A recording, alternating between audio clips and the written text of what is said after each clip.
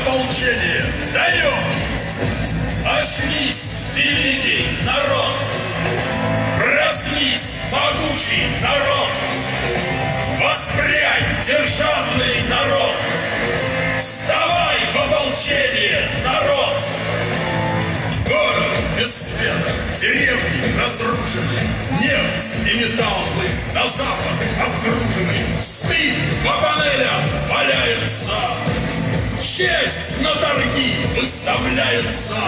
Садисты и воры страну захватили, живых положили под нож. Добытое кровью по ветру пустили, даешь ополчение, даешь. Очнись, великий народ! Проснись, могучий народ! Воспрянь, державный народ! Вставай в ополчение, народ!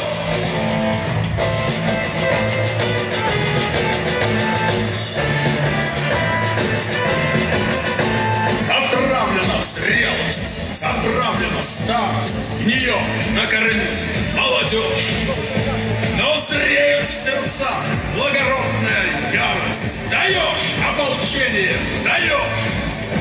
Есть выход один, отстоять свое право, пресечь антирусский галдеж, восстать из руин и повергнуть тирана.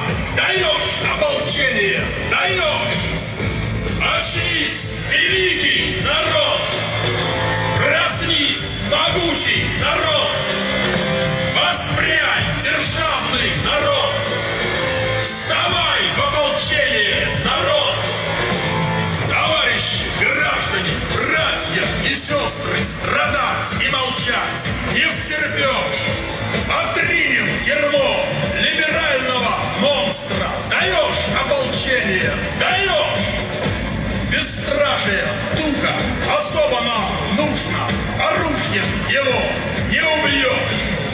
В совместной борьбе закаляется дружба. Даешь ополчение, даешь. Очнись, великий народ. Проснись, могучий народ. Воспрянь, державный народ.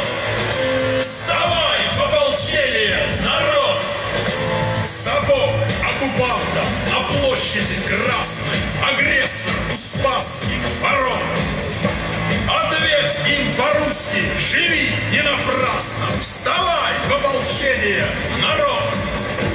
Во все времена только вместе мы сила, лишь вместе друг другу оплот.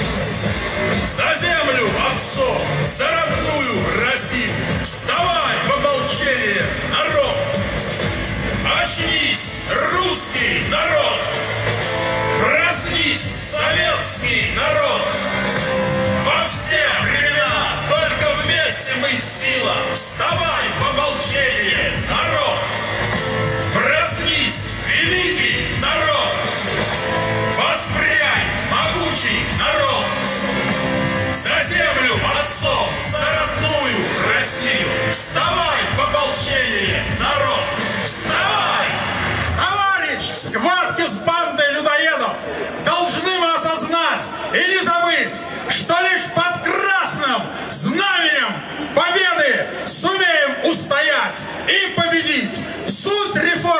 реформы пенсионной – яма, гроб и похороны. Да здравствует всенародное сопротивление режиму лжи, грабежа, унижения и геноцида. Слава Советскому Союзу! Ура! Сказать решительное «нет» пенсионной реформе. Я приветствую делегации из 15 регионов Центральной России. Я приветствую представителей профсоюзов и многих иных общественно-политических движений. Я объявляю митинг против так называемой пенсионной реформы открытым. Слово предоставляется лидеру народно-патриотических сил России, председателю Центрального комитета Коммунистической партии Российской Федерации Геннадию Андреевичу Зюганову. Дорогие друзья, уважаемые товарищи, у нас есть все основания сегодня порадоваться.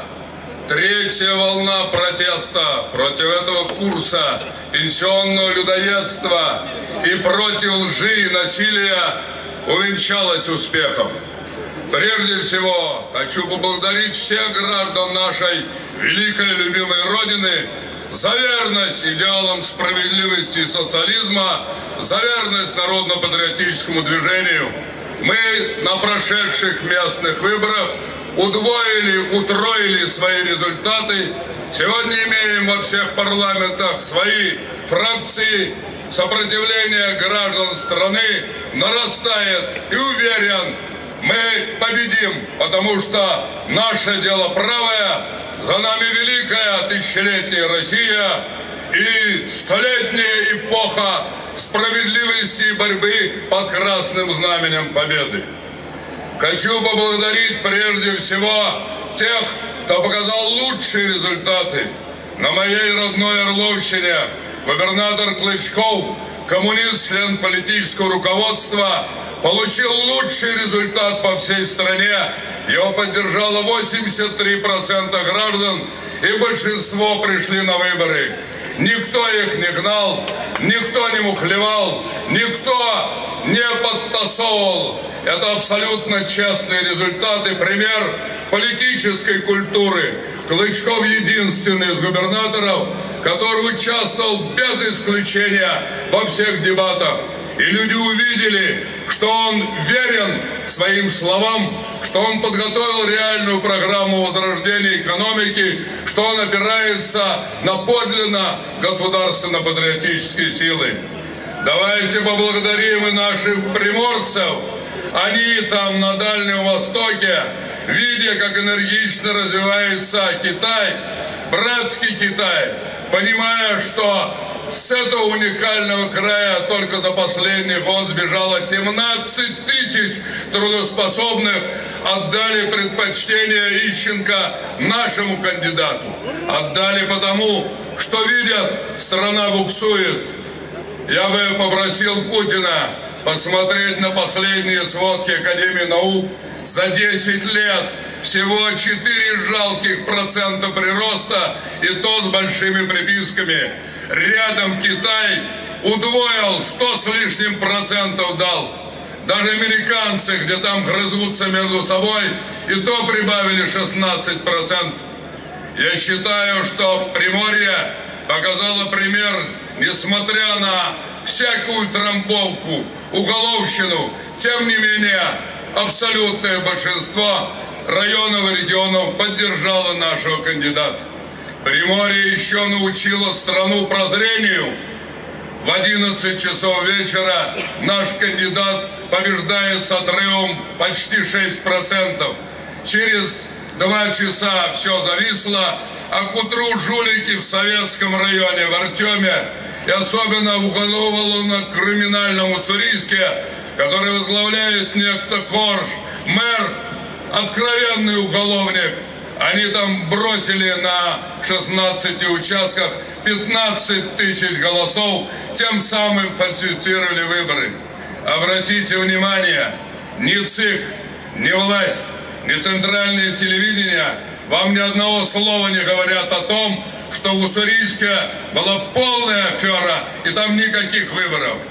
Если бы они действовали в правовом поле, отмените уссурийскую аферу и результат в советском. И Ищенко на порядок побеждает. Вместо этого объявляют новые выборы и начинают врать бессовестно и беззастенчиво. Им это уже не поможет.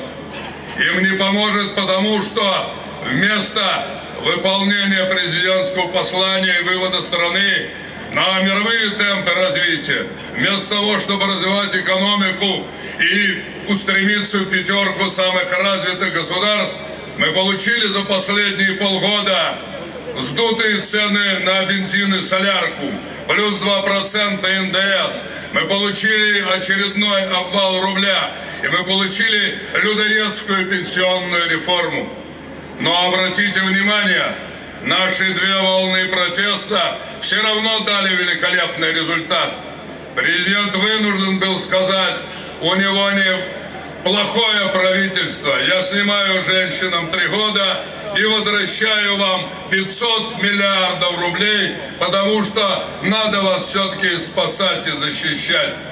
Но напомню, по этой реформе они лезут к вам в карман на 3 триллиона 300 миллиардов. Вернули 500 в поправках Путина. А 2 триллиона 800 миллиардов все равно на эти деньги будут выворачивать ваши карманы. Не карманы олигархов, которые захабали 90% собственности или хотят платить нормальные налоги. Не карманы варья, которые разворовывают страну. Не карманы офшорников, которые вывозят туда триллионы. Не карманы чиновников, которые ничего не делают для того, чтобы страна и экономика развивалась. Мы им предложили простое решение. Вы пообещали три с лишним процент. Вот давайте сейчас нажмем. Мы под них подготовили новый бюджет развития 25 триллионов. И в конце года будут темпы три с половиной. В Китае 7, во Вьетнаме тоже 7. И у нас скоро будет 7. Один процент – это триллион. На 3% сдуйте экономику, это несложно сделать. Перестаньте воровать и начните работать. И прибавим сразу за один год ту сумму, которую у вас вынимают из карманов в течение пятилетки. И нет никакой необходимости вводить это людоедство. Только что завершился прекрасный митинг в Хакасии. Все вам шлют привет и благодарность. Наскаловалов Числав одержал победу, по сути дела. Вместо того, чтобы проводить завтра выборы, вчера посчитали, оказывается, мы прислали туда 400 наблюдателей. Мы проехали все районы. Там блестяще выступал Грудинин, генерал Соболев, Юрий Афонин, Казбек Таисаев. Там пришли во все райцентры и хозяйства и мужики говорят, да мы проголосуем за вашего. Да, молодой, но честный. Да, молодой, но готов собрать. Да, молодой, но сказал, будем опираться на уникальный опыт Иркутской области, где губернатор Левченко показывает лучшие результаты, на опыт Локти, который в Новосибирске построил единственной стране по квадратному метру жилья за год, да, на уникальный опыт народных предприятий, моей родной Орловщины, где Клычков подготовил программу на пятилетку вперед, и люди ему поверили. И тогда глянули, туда сто политтехнологов послали, приехали люди в погонах, но надо отдать должное. Люди в погонах включая полицию. Там вели достойные, сказали, не будем прикрывать это варье, как было в Уссурийске, когда наши приехали ночью контролировать, а их загнали в Кутузку и заперли в администрации местного мэра, которого давно надо отправить за решетку. Я уверен, что мы выиграем выборы и в Хакасии. Мы сегодня в состоянии с вами эффективно бороться. Почему? Потому что народ понял, наконец понял, что власть сегодня – это власть олигархии, власть воров и жуликов, власть тех, кто не в состоянии слышать свой народ, любить свою женщину, мать, дочь. Только людоеды могли предложить реформу, по которой женщине-матери – не дают родить ребенка, не дают понянчить внука, не дают возможности отдохнуть и полечиться на пенсии.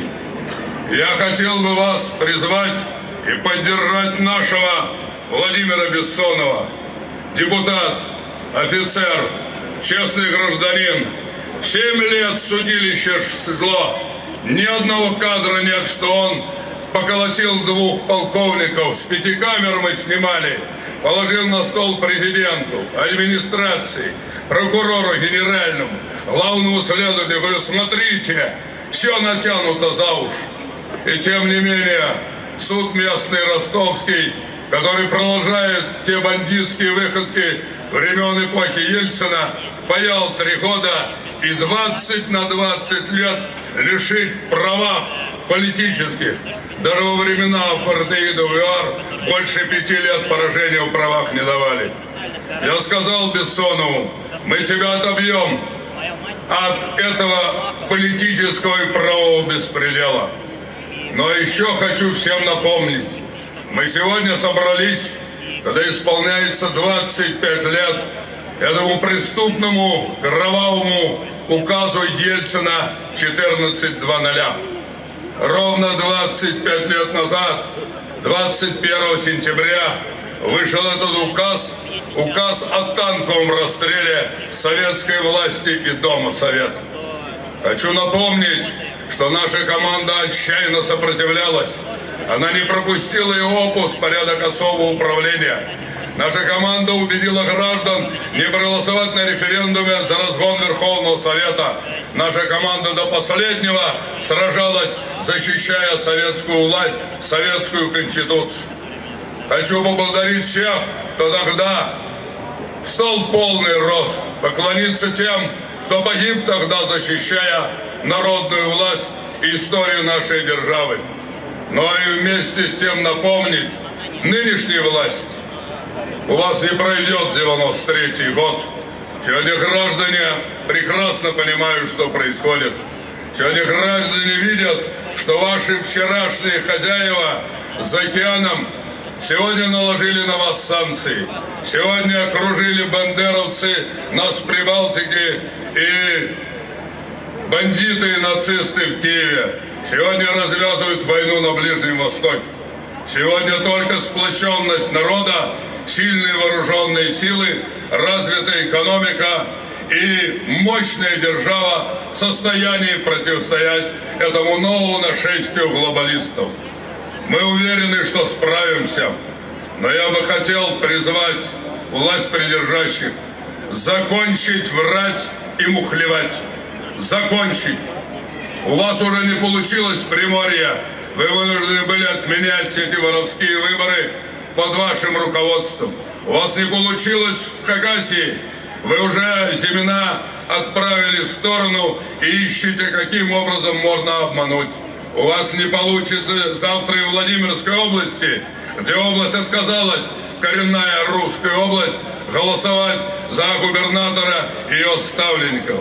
У вас ничего не получится толком и в Хабаровске, потому что вы не справились с выполнением своих обещаний. Мы предложили программу подлинного развития страны. Мы под нее положили 12 законов. Эти законы ведут нормальные налоги и прежде всего на толстосумов. Эти законы освободят от налогов тех, кому сегодня тяжело. Эти законы позволят иметь пенсию в два выше, чем сегодня, и нормальный прожиточный минимум.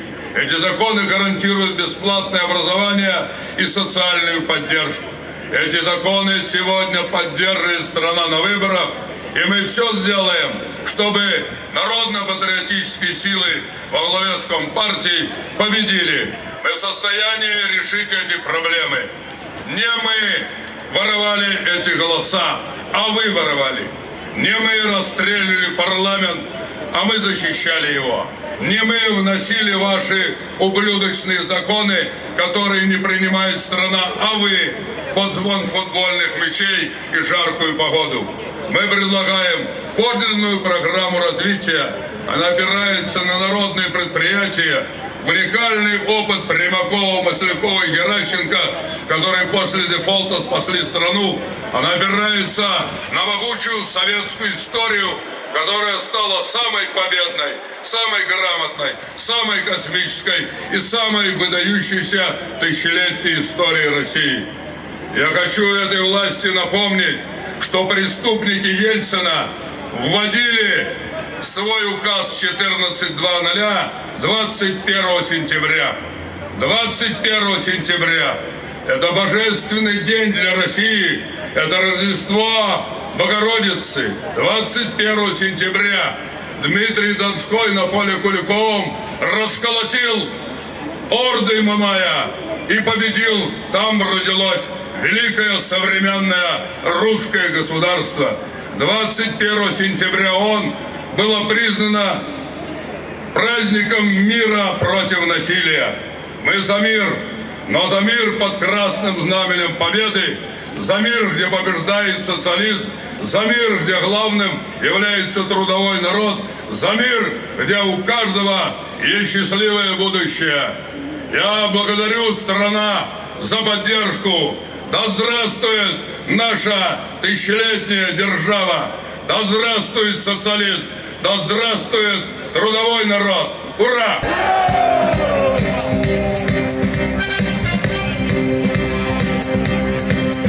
Небо утреннего стяг, жизни важен первый шаг.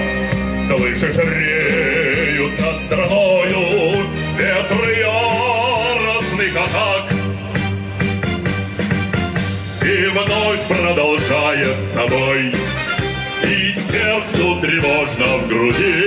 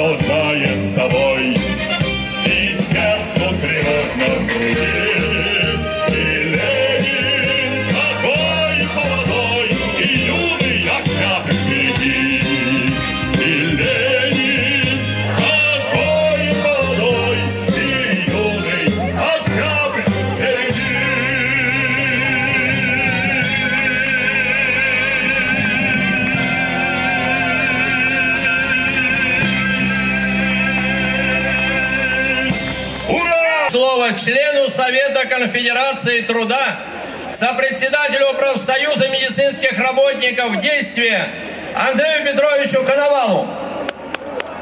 Здравствуйте, товарищи!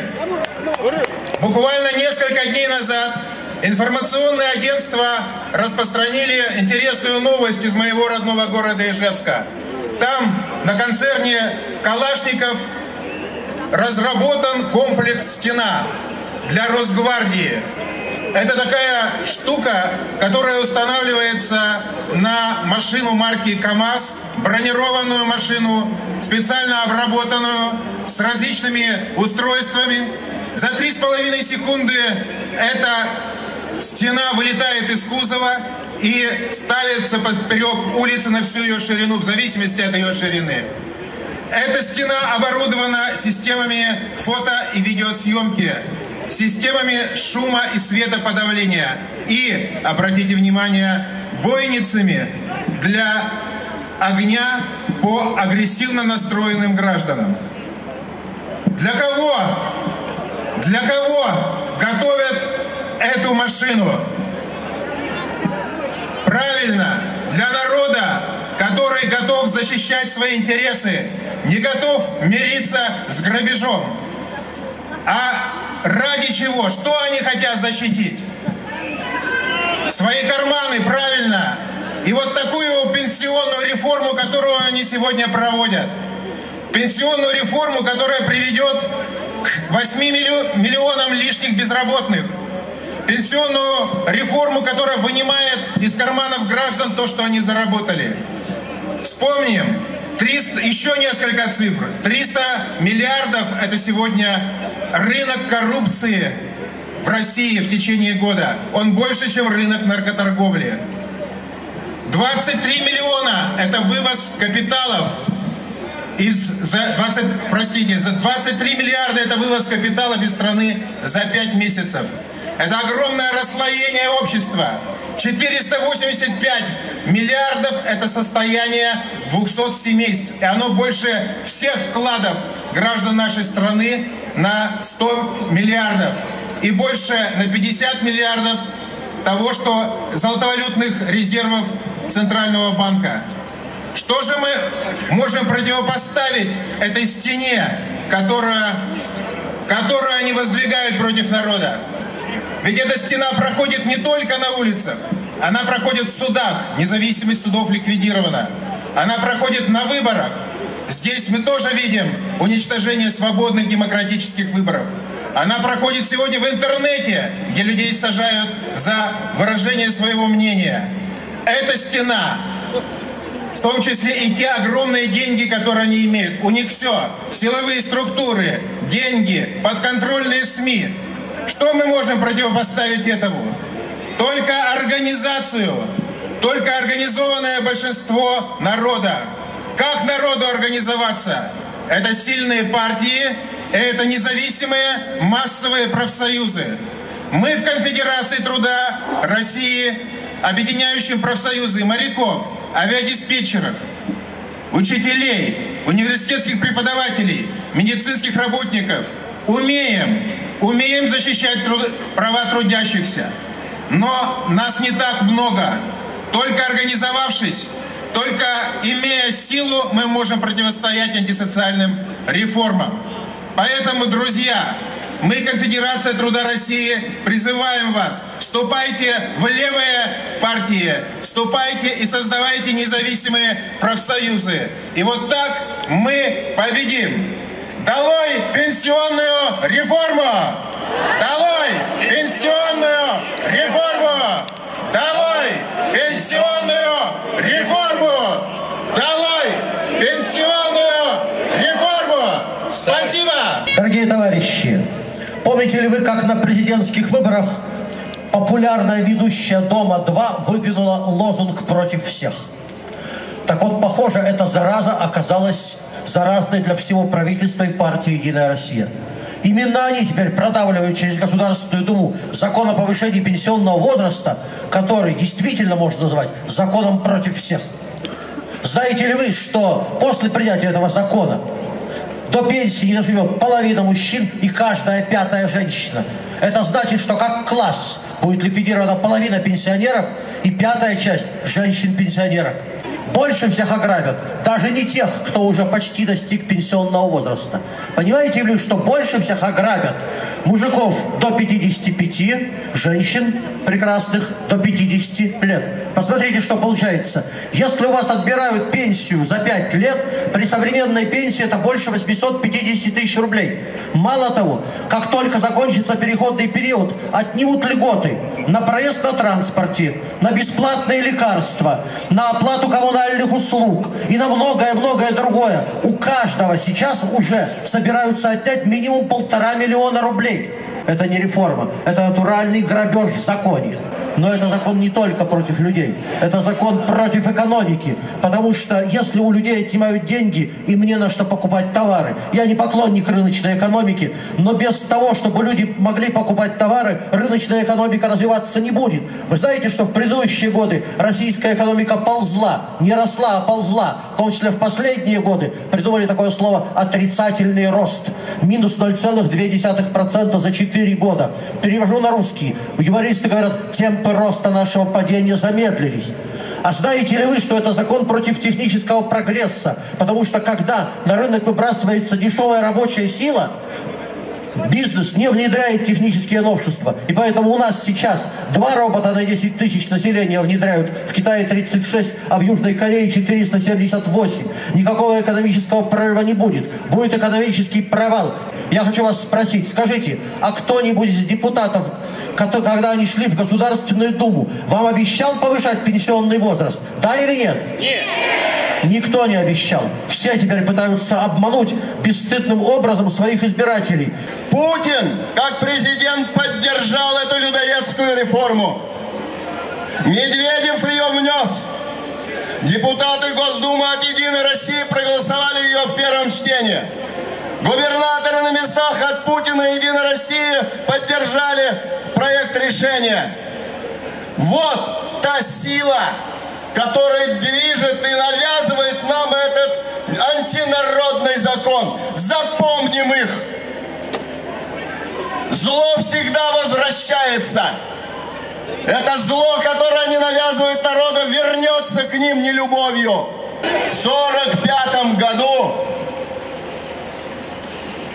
фашистская Германия потерпела поражение. Знамена фашистской Германии и его союзников были брошены в Крым, на площади, на Красной площади у Мавзолея в знак их поражения. Они замахнулись на советский народ. Он был един, поэтому непобедим. И сегодня те, кто голосуют, и те, кто продвигает антинародную пенсионную реформу, также будут повержены. Абсолютно повержены. Я предлагаю вот эти плакаты с позором депутатов Единой России бросить сегодня так, как бросали в 45 году знамена фашистской Германии. Не возражаете? Давайте это сделаем.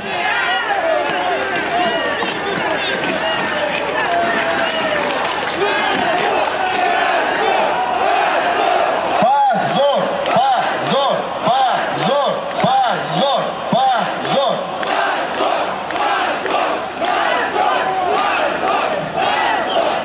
А теперь пытаются ввести еще и полицейский надзор. Но пока закон не вступил в силу, пока этот закон оспаривается в суде, голос Сергея Удальцова звучит.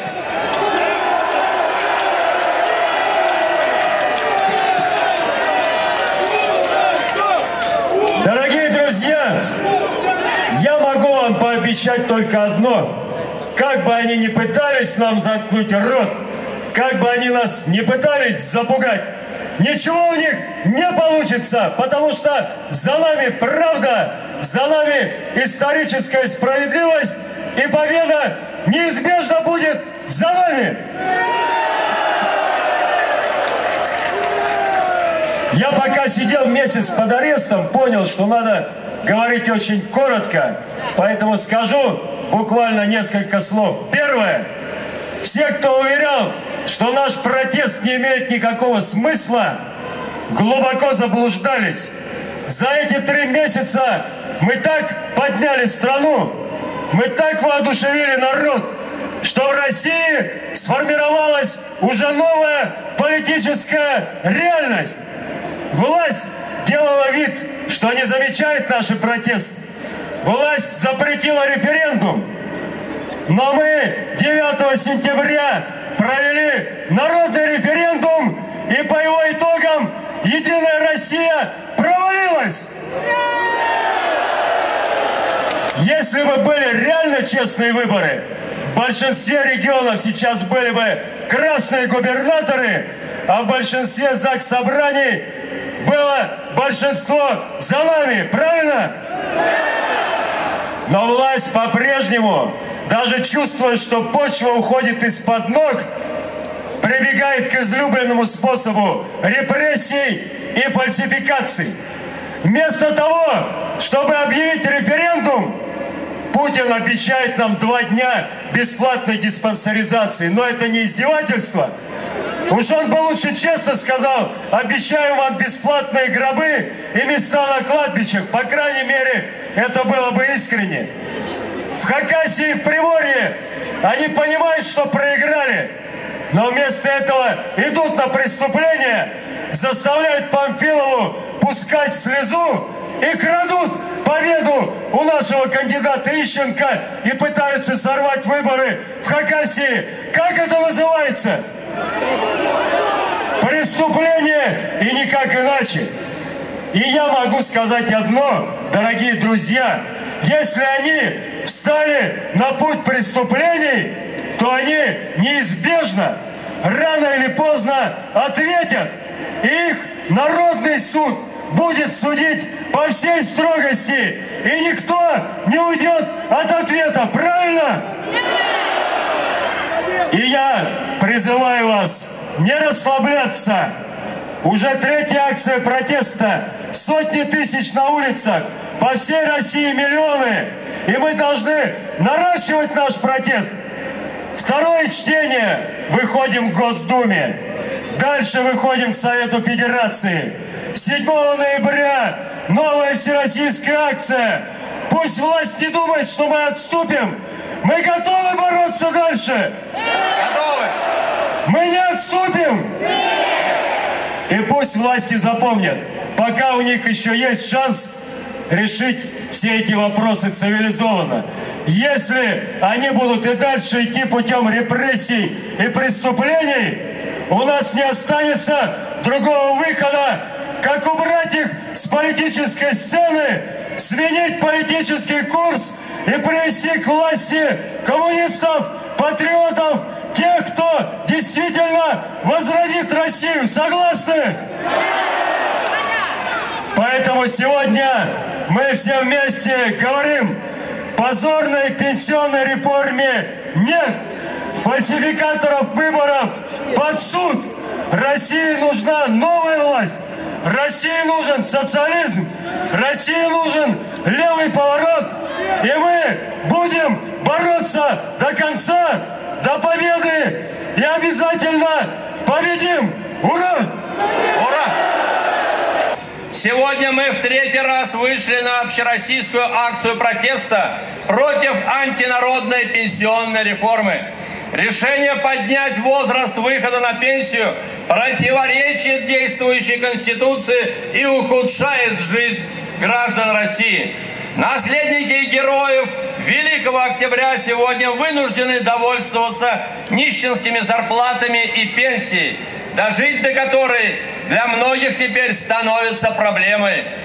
Стране напрямую грозят демографическая катастрофа и массовая безработица. Правительство Медведева, утвержденное в мае 2018 года с подачей гаранта Конституции Российской Федерации, полностью себя дискредитировало. Более подлого и циничного шага, чем разработка законопроекта о пенсионной реформе, трудно представить себе. Это правительство стоит на защите интересов олигархов, в чьих руках обманным путем оказались сосредоточены власть и все национальные богатства страны. Все свои проблемы оно решает за счет трудящихся. В значительной степени сентябрьские выборы 2018 года стали индикатором отношения народа к правительству и Единой России, выступающей за повышение пенсионного возраста. Народ все меньше доверяет политиканам из партии власти и ее сателлитов. Звеньями одной цепи с пенсионной реформой стали недавние выборы губернаторов. Беспрецедентная подлог и фальсификация их итогов в Приморском крае следствие царящего системного производства, произвола и политического дефолта в стране вызвали массовый протест. Сегодня именно КПРФ воспринимает, воспринимается гражданами как альтернатива правящей партии и реальная политическая сила, отстаивающая интересы народа и государства. Мы заявляем, народ не потерпит дальнейшего попрания его гражданских прав. Протест продолжится, если пенсионная реформа и произвол антинародной социальной политики не будут прекращены. На улицы выйдут миллионы граждан. Будущее страны и ее социальную политику должен определять народ на общероссийском референдуме.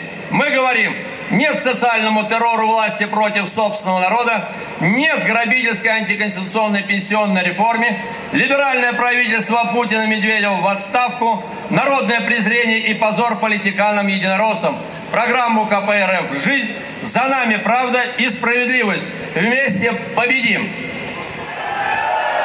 Я прошу проголосовать за предложенный текст резолюции.